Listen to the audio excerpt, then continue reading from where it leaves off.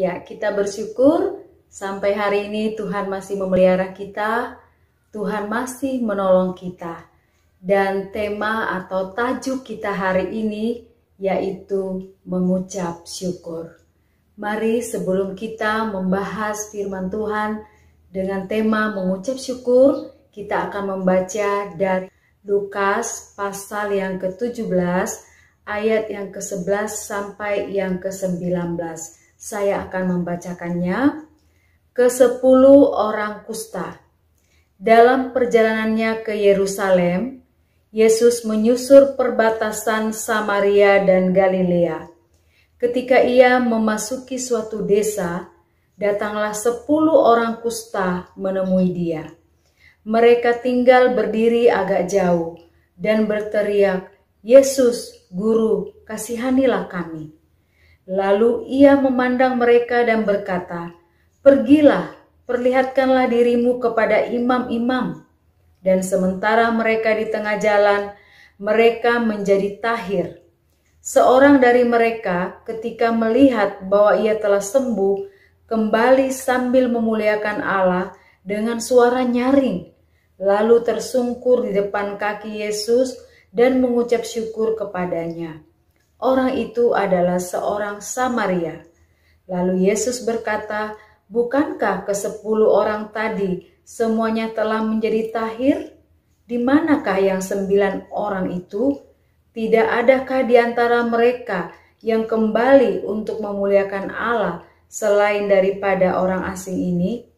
Lalu ia berkata kepada orang itu, Berdirilah dan pergilah, imanmu telah menyelamatkan engkau.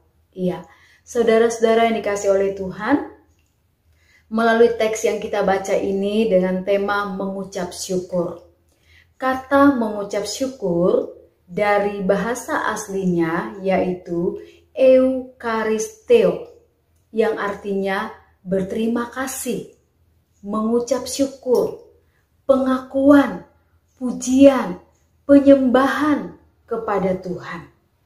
Karena Tuhan adalah Allah yang baik Allah yang tidak pernah meninggalkan kita walau sedetik pun. Allah yang selalu ada bagi kita dalam situasi saat ini. Dalam segala hal yang kita hadapi, dia selalu ada bagi kita. Dan kata mengucap syukur itu dari bentuk imperatif aktif. Artinya, kata ini merupakan perintah yang harus dilakukan oleh semua orang percaya, oleh semua anak-anak Tuhan tanpa terkecuali. Artinya, kita harus selalu mengucap syukur, dan kata aktif artinya mengucap syukur harus dilakukan terus-menerus tanpa henti.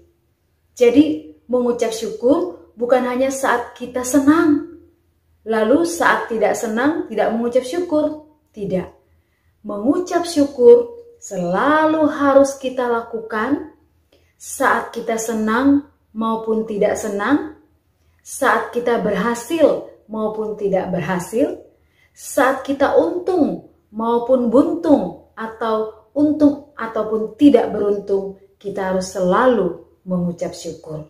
Nah, saudara-saudara yang dikasih oleh Tuhan, dalam teks yang sudah kita baca tadi, di dalam Lukas pasal 17 ayat 11 sampai ayat yang ke-19 itu mengisahkan tentang ke-10 orang yang sakit kusta.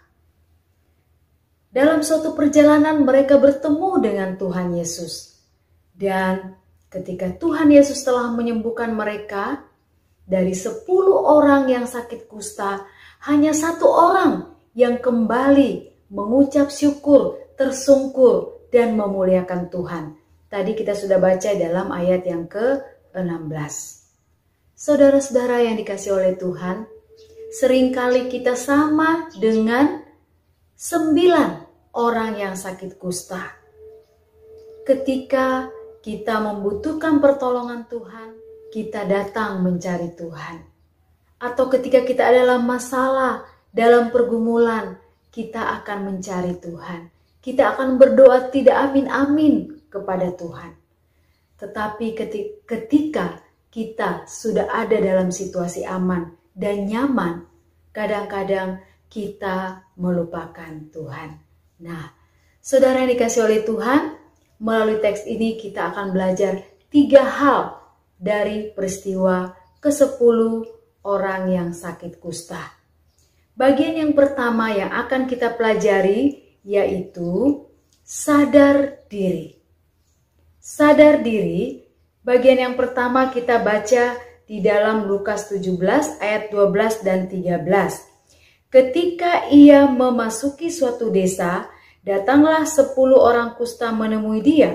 Mereka tinggal berdiri agak jauh dan berteriak, Yesus Guru, kasihanilah kami. Nah, dalam ayat 12 dan 13 dijelaskan bahwa orang kusta ini ketika mereka bertemu dengan Yesus, mereka berdiri agak jauh.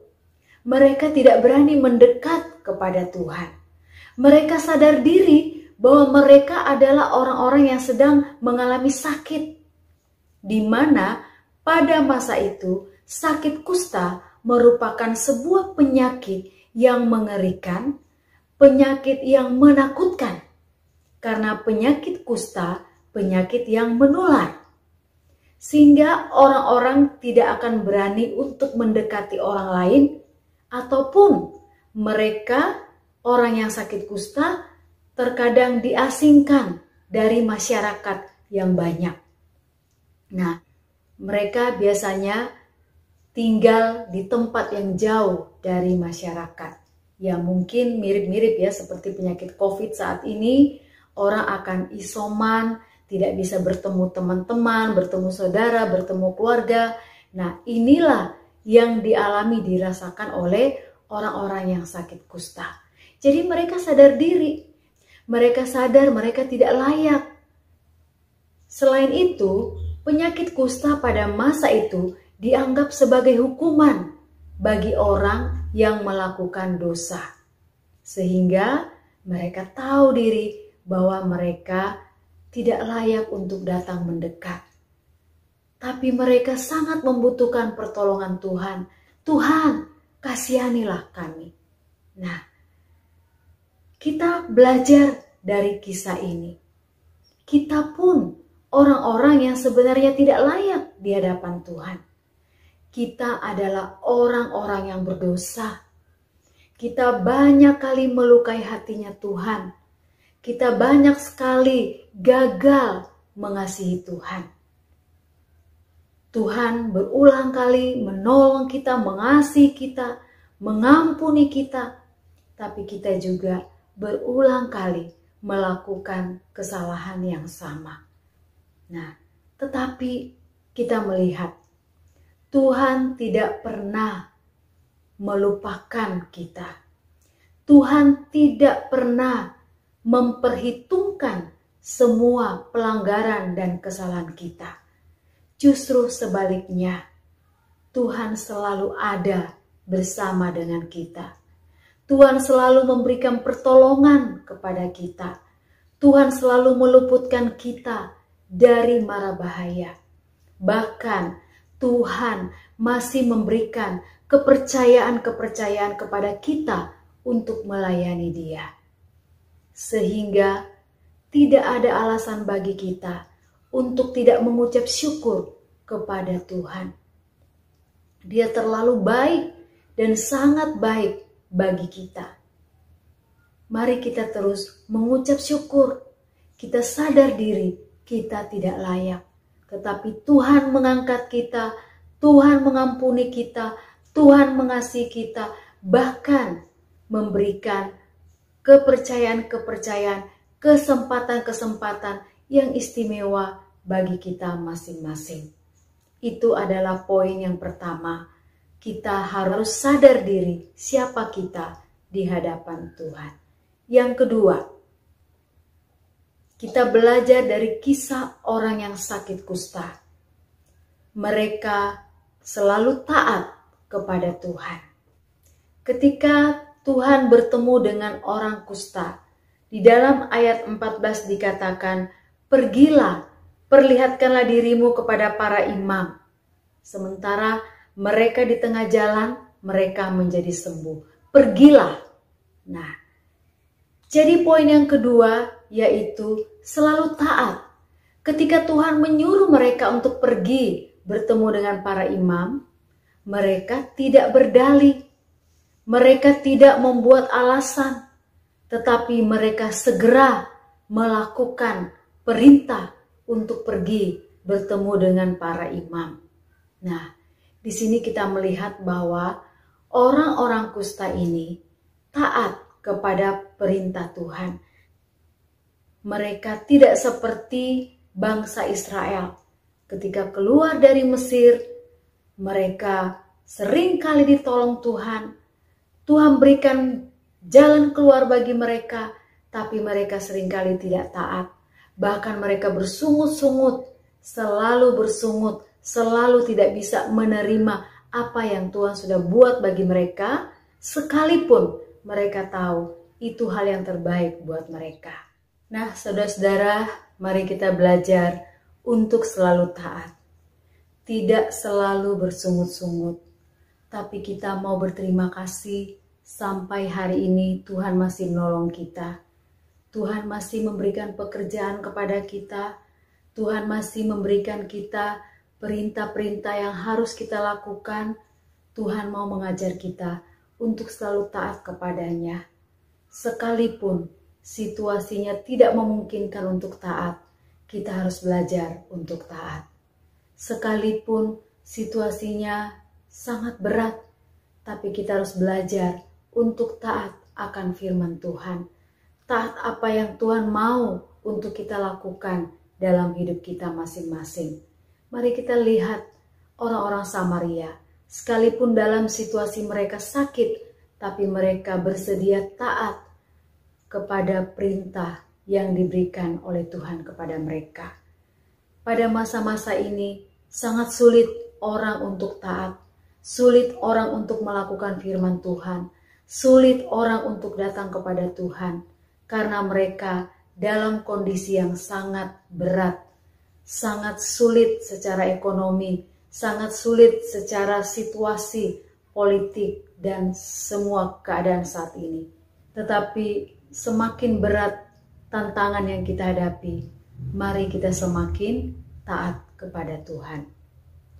Poin yang ketiga yang kita belajar yaitu selalu bersyukur orang Samaria, satu dari sepuluh orang yang sakit kusta ini, adalah orang yang tahu berterima kasih. Ketika Tuhan sudah menyembuhkan dia, ia berteriak bersorak dengan nyaring. Dan kemudian dia tersungkur di bawah kaki Yesus mengucap syukur. Dan kemudian dia memuliakan Tuhan. Nah, kita belajar dari orang Samaria ini orang Samaria adalah orang yang sebenarnya tidak diperhitungkan. Mereka kebanyakan adalah orang-orang yang hasil dari perkawinan campur ketika pembuangan di Babel. Banyak orang Israel yang menikah dengan orang-orang penduduk asli yang ada di sana. Sehingga mereka sering kali dianggap sebagai kelas yang kedua. Tetapi Justru orang Samaria banyak sekali memberikan contoh atau teladan yang baik bagi kita. Baik ketika orang Samaria bermurah hati dan ini adalah orang Samaria yang tahu mengucap syukur. Dia tahu berterima kasih ketika dia sudah ditolong oleh Tuhan. Nah, saudara-saudara yang dikasih oleh Tuhan, kita sering kali tidak tahu berterima kasih ketika Tuhan sudah menolong kita ketika kita belum mendapat pekerjaan, kita bilang sama Tuhan, Tuhan, berikan aku pekerjaan. Kalau aku sudah mendapat pekerjaan, aku akan setia datang beribadah. Tapi nyatanya, setelah mendapat pekerjaan, kita lupa dengan janji kita. Tuhan, kalau nanti aku sudah punya uang banyak, kalau Tuhan sudah memberkati usahaku, kalau Tuhan sudah memberkati hidupku, aku akan memberikan persembahan syukurku kepada Tuhan. Tapi setelah kita mendapatkan semua yang kita doakan, kita lupa akan janji kita kepada Tuhan. Atau kita juga berkata, Tuhan, kalau aku sudah sembuh dari sakitku, maka aku akan semakin setia menolong, semakin setia berbagi, semakin setia untuk mengajak teman-teman datang ke gereja. Tapi semuanya itu kita ingkari. Nah, saudara-saudara yang dikasih oleh Tuhan, marilah kita belajar seperti orang Samaria ini. Dia satu-satunya yang tahu datang berterima kasih ketika Tuhan sudah menolong dia. Memang situasi saat ini berat rasanya atau sangat sulit untuk bersyukur, sulit untuk berterima kasih. Tetapi ketika dalam situasi ini kita mampu mengucap syukur, kita mampu berterima kasih, justru di situlah letak kekuatan kita.